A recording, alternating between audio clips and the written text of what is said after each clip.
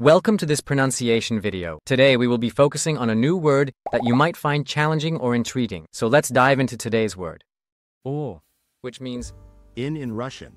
let's say it all together. о, о, о, One more time.